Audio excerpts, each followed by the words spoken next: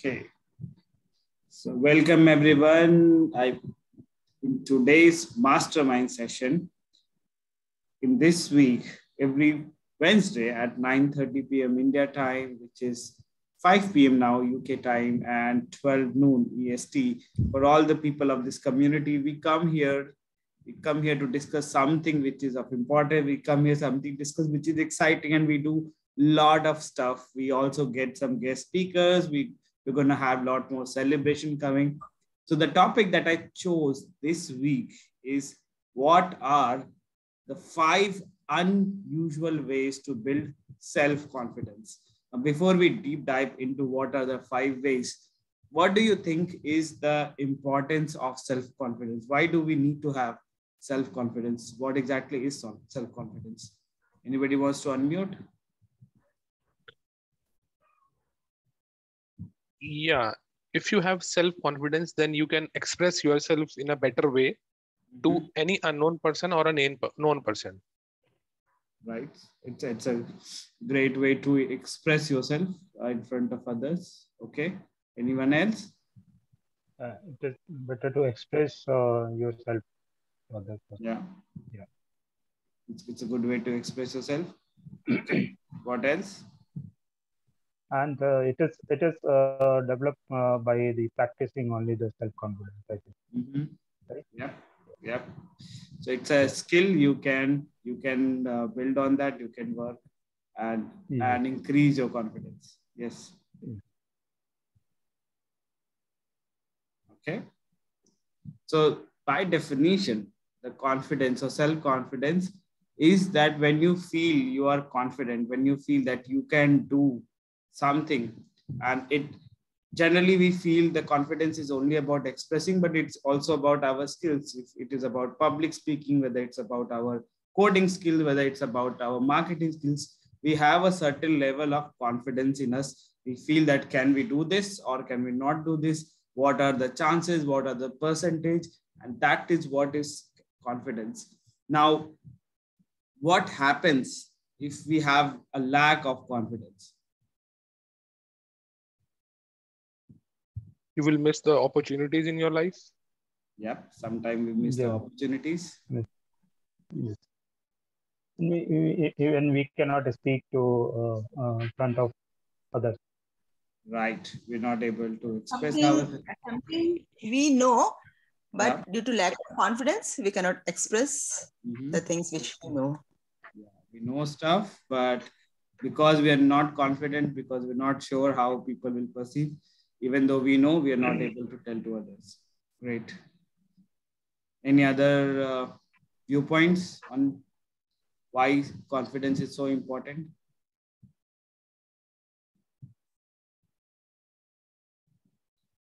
All right. I guess all of you are right. It's very important to have confidence because unless you believe in yourself, unless you believe that you can achieve this, you can do this, you can and you can speak, you can build something. You know, as they say, everything is uh, made twice, once in our mind and then actually in the world. And if you're not able to build that self-image, build that that big vision, we are not able to actually do it in the real world. Right? Everything is energy, and if you're not able to produce that positive energy, produce that confidence, then we're not able to do that. So today I want to cover five unusual, yeah, I know there's a spelling mistake. You can pardon me for that. Unusual ways to build self-confidence. Now, some of you may not feel that this is unusual, but I found when I collated all this, it was very interesting. So are you ready to know what are the five unusual ways to build confidence? Type yes, yes in the chat. Let, let's be active.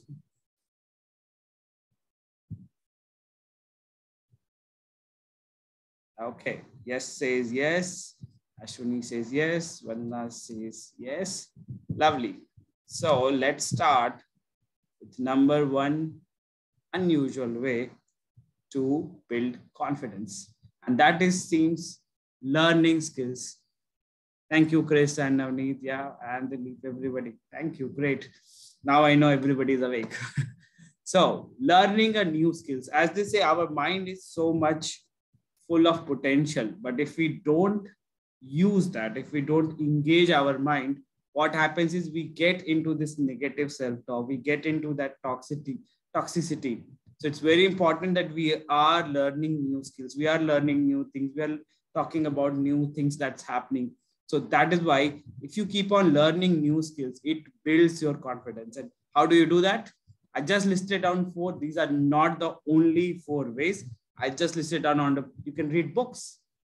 Amazing. Book. There's so many types of book, any genre you can pick, every genre, there is something to learn, something to grow, something for you to practice. Uh, listen to podcasts. Those who know me know how much I value podcasts, uh, different types of podcasts, whether it's about money, whether it's about uh, success, whether it's about business, whether it's about technology, whether it's about presentation, any and every topic you can learn so much. And when you keep learning, it actually builds on your confidence. It keeps on adding another layer. And when somebody asks you, now you say, Yeah, I've, I've read about that, I've learned about that, and you can practice on the go. This also helps you with impromptu speaking as well.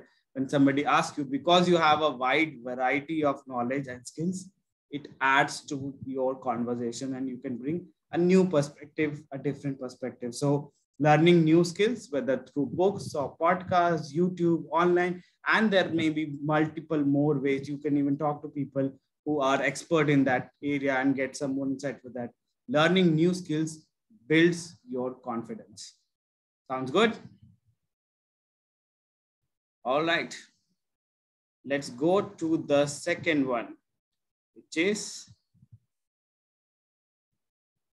celebration how many times have you ever thought that once I achieve this big milestone, I will have the biggest celebration if I become the world champion, if I if I get this big project. We need to celebrate the big wins, but at times we also need to celebrate the small wins. Even if you're giving your first speech, it's a it's a celebration that means to. Even if you're doing your first paid gigs, even if you are doing your first delivery of the project, even if you are just talking to somebody stranger where you are actually freaked out before that, celebrating, acknowledging those things adds or boosts your self-confidence. So whenever you're doing new things, celebrate. You don't have to go big all out and say, okay, every time I do something new, I'm going to throw a, a thousand dollar or or 500 pound party. You don't have to do that, but celebrating small even going for a small walk, having one candy, anything, just to give you that positive feedback to yourself that, yeah, I'm making some progress. I'm doing something better. No, uh, even watching some, some fun video could be a way of celebration. Anything and everything that can help you celebrate, make it, make that big and small, especially the small wins celebration. That boosts your confidence because, you know, when you keep on winning small, small things, that's when one day you achieve the big thing. So, and that boosts your self confidence. So, do you agree? Celebrating big and small wins? Type yes in the chat.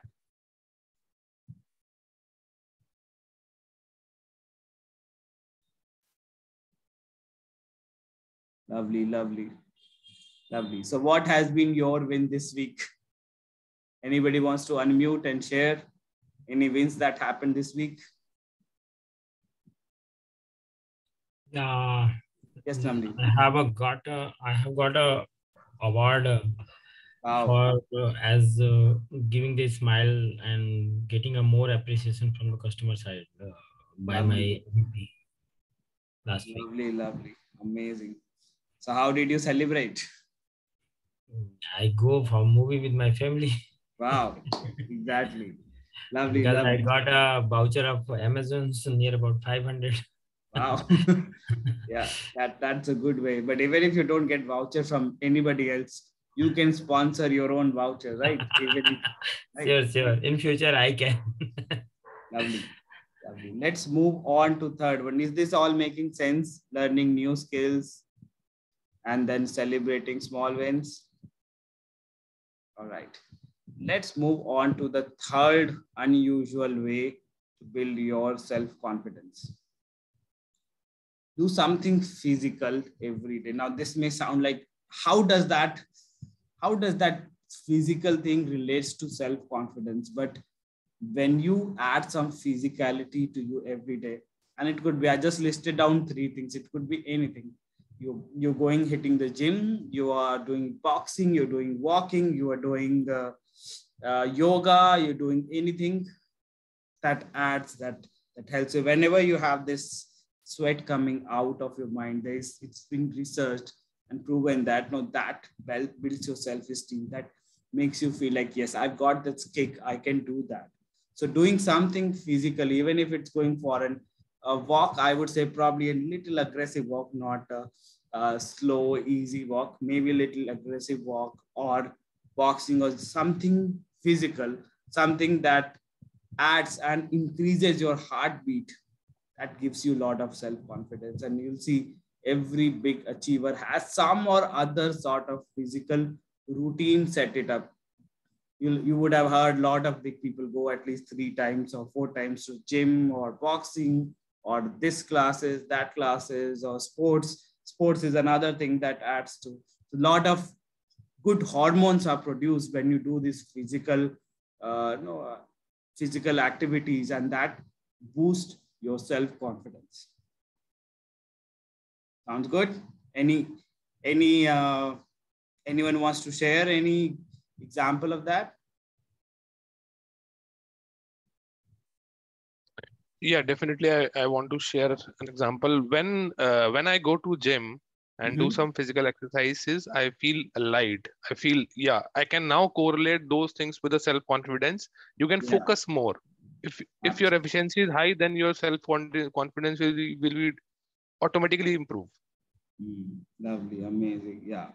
I came here I, to tell you i came uh, on vacation and i didn't go for morning walk for a few days. I was feeling a little bit lethargic but uh, the day uh, I went for a morning walk after a gap of about three, four days, I felt really better. I went for a half an hour walk in the morning and I could feel that, okay, I, am getting out of that. I'm not getting into that lazy and, and uh, procrastinated mode. I was getting more energetic. So every time you are doing something big, before that, if you have time, do something. It doesn't have to be crazy, but you, even if you can take a walk or little bit of you know, physical exercises that really boost your confidence, boost brings those positive hormones in your body, secretes the positive hormones, really takes you to the next level.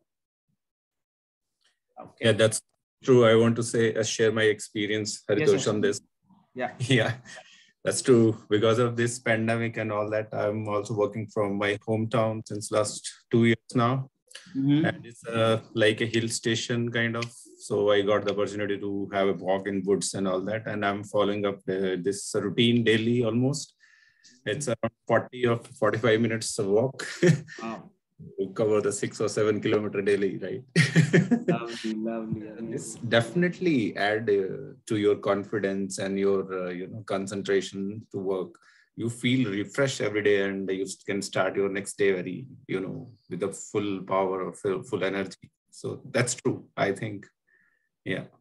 Great, great. Thank you for sharing, actually This is so Thanks. true. And yeah, not everybody is as fortunate uh, to live in a hill station like you, but you can always find a place to go and visit. No. Yeah. uh, yeah. Lovely, lovely.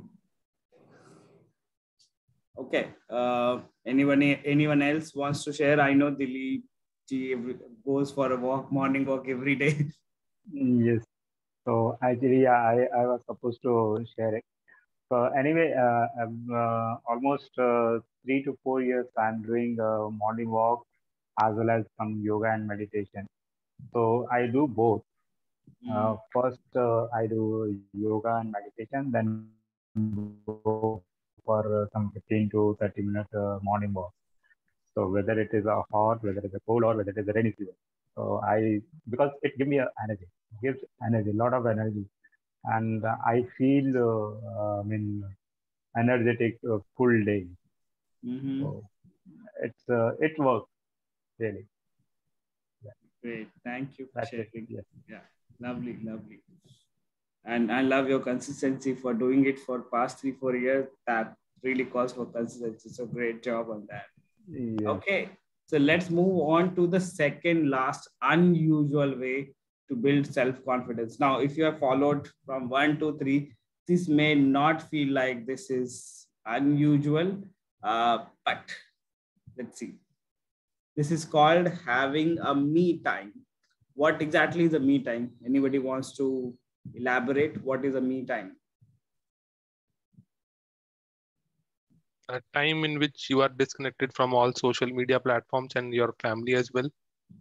Okay okay. Good definition. Anybody else wants to add anything? Yes time for myself. Mm-hmm. enjoyment entertainment or sitting with friends enjoying with friends. There is time for myself. Okay. Something like uh, what you whatever you would like to do and you do that thing. Mm-hmm. okay Right. All, all maybe your passion. yep. Maybe your passion, right? Yes. Great. It's a time where your soul meets with your mind. Sorry, Navneet, can you repeat? It's a time where your soul meets your mind. Like आपका आत्मा से आपके दिमाग का संतुलन जहाँ मिल mail हो वो right where your soul meets your mind right let's stick to english great so all all great and right answer. Uh, to me i think uh, depends on having a time dedicated for yourself on every day or if not every day having a number of days in a week where you are able to do things that you love to do. And it could be anything. It could be journaling. It could be doing a self talk it could be doing some affirmation recitation meditation even a walk even hitting gym, whatever you feel like doing. It could be even talking to a friend. But having a me time on most of the days builds your confidence. Not in a very drastic way to say, okay, you just have a me time one day and your confidence is skyrocket. But if you keep doing it, it's all about consistency. If you have a me time every day, uh, for example, my me time is my morning rituals where I wake up early, I read some books, I do some meditation or journaling, uh, enjoying coffee. My me time is having black coffee with book or doing other journaling, other things. I love that. And and and on those days when I'm not able to do that for a few days, I can feel and and now even my family can feel that okay, you have not been doing that your me time thing, your ritual thing. So having your identifying your me time, identifying your rituals, what works for you, and then working on that every single day, that boosts your confidence as well. So having a me time and then following it, following it as many times as possible is another unusual way to build your self-confidence. Okay, so we are on to the last point, which is let's not have too much of suspense and thriller. It's about being grateful. At times we feel bogged down. There's so much going on in the world. It's, it's so much of negativity around. There's so many things you want to accomplish. Sometimes we don't succeed. Sometimes we get a setup, setback. Sometimes we feel like I'm not making any progress. But if we take some time, just relax and think about from where we have come so far. Just look at yourself maybe few months back, maybe few years back, maybe a few decades back, if you are old enough, you can feel so much grateful for what you have. I, I'm in my hometown right now, and I'm so grateful for all the great things that has happened to me in last two decades. When you feel grateful for things that has happened to you, that gives you a lot of boost you can do much more. It, it's about that positive self-talk that you know, if i can achieve so many things despite from this background from this country from this place from this particular background i can do much more. And that gives you confidence. So always having a vision for future is important but also looking back at your journey and being grateful for all the great things that has happened to you, all the great learnings that you have, all the great time that you have spent. That gives you more confidence that if I can survive that, if I can do that, if I can earn that, if I can build that, I can do much more than that in coming days, months, weeks, decades, years. You never know. But this is another way to feel confident. So those are the five unusual way to build self-confidence. Any uh, insight, any question, any feedback from anyone? I've got a few bonus for you also that that helps you, but let's hear from you. Any anything you want to share?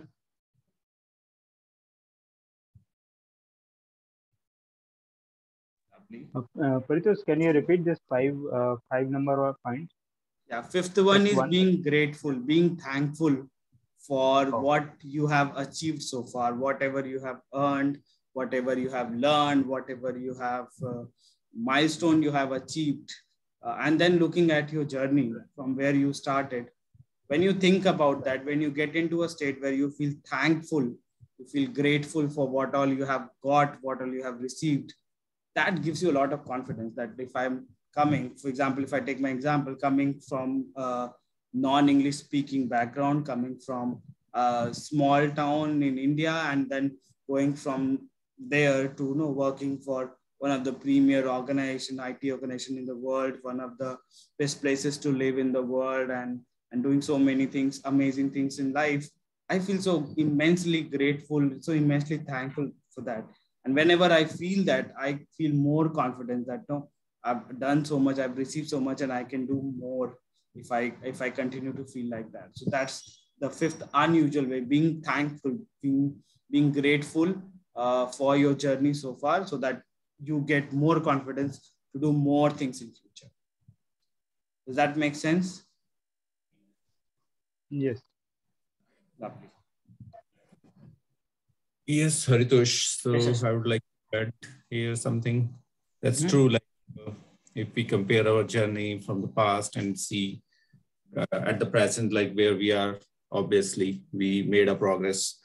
The trouble is like when we start comparing ourselves with others, then the trouble started like, oh, we missed something. I think we could do better than this, what we are today here. and till the point we are not comparing with others now we are good but uh, the point we start comparison with others it really hurts sometimes no, absolutely. You are you are absolutely right. I think uh, our biggest comparison should be with us in the past. Like you know how uh, how i was doing yesterday versus how i'm doing today or how i will do tomorrow. If we can bring that it's not always easy as you said and we all get into that uh, whether you are working in office, whether you are a social media influencer, whether you are a speaker, whether you are just a listener, we all compare. That's the default mechanism our brain works. But if we can keep ourselves centered around ourselves, which may seem like selfish, but it is actually the right thing that no, keeping comparing ourselves to ourselves. No, my journey is unique and my path has been unique and it cannot directly compare to the journey of Yash or Navneet or Dilip or uh, no Ashwani or Vanna or Krish. When we bring that into our perspective, you know, we feel like, yes, I have made progress. I have things to do. We all are work in progress. Uh, some of us are actually, we just got started. Uh, and when we keep that perspective in mind, we, we still get a lot of confidence. So Thank you for bringing that point. Actually, very, very valid point. Lovely. Now I'm going to give you three bonus. And these three bonus uh, are again unusual, but this is more to do with the physicality. Like how do you get more confidence? And these are more of action thing and these are direct things that you can do. So very simple, smile. Whenever you're feeling little underconfident, sometimes you have to force smile but if you keep smiling for a few minutes your mind you know our mind is so amazing that we can actually control this is a way for us to control if you smile and force your smile for some few minutes your mind will start thinking that you are actually in a good state and those hormones will actually bring you to that good state so sometimes forcing yourself smile. Uh, don't smile at places where you're not supposed to smile. Uh, that can be dangerous. But if it is a normal place where you can smile, you can be cheerful, that helps in building confidence. Second bonus is speak slowly. You know, lot of times we feel that if we speak really, really fast, people will think that we are so confident and people think this is such an amazing speaker. People think such a great personality. But actually, if you look at all the great leaders, all the great communicators, they actually speak slowly. And that shows their confidence. You will not find great leaders speaking so fast, but you will many times find great leaders speaking slowly, pronouncing every single word with special emphasis on certain words. So when you start to speak slowly, it shows that you are confident and you internally feel that I am confident, I can talk about that, I can do this, I can do that. So that's another physical thing, physical aspect of building self-confidence that you smile and speak slowly. There's no need to haste, there's no need to hurry. And stand, stand tall. Have you heard about the term called power posing? There's a great TED talk uh, where um, I think it was some lady called Amy who, who gave this TED talk called uh, Super Women Pose, where she said that every time you feeling underconfident, uh, you do this, put your hands on the side of your uh, back and then stand like a Superman or Superwoman, and that will increase your confidence. It will feel like I'm so confident. So, uh, and there have been research done to actually, which actually proves that when you stand tall, when you stand confidently, it boosts your confidence. You feel like you are in command, you are in charge. So at times adding these small nuggets of physicality also increases your self-confidence, especially when you're going for a meeting or a speaking engagement or a conference. You bring this smile and speaking slowly and standing tall. When you bring these three S into picture, that helps boost your confidence. So any uh, any insight or any experience you had on these smiles, speaking slowly, and standing tall?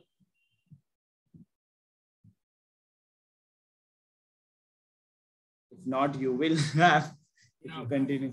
Yes, ma'am. I want to share my experience, last experience. Last week, I go for an interview with uh, one reputed uh, organization, and uh, the CIO taking my interview so I started my introductory part and uh, I go little bit faster.